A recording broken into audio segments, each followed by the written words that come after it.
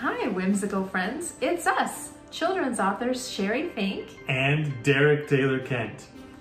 Does someone in your house love to color? Does someone love mermaids, fairies, dragons, and magical creatures?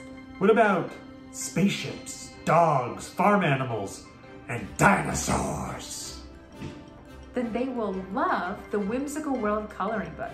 It has 40 pages of fun, whimsical coloring pages featuring characters and scenes from our best-selling books. Happy, Happy coloring. coloring.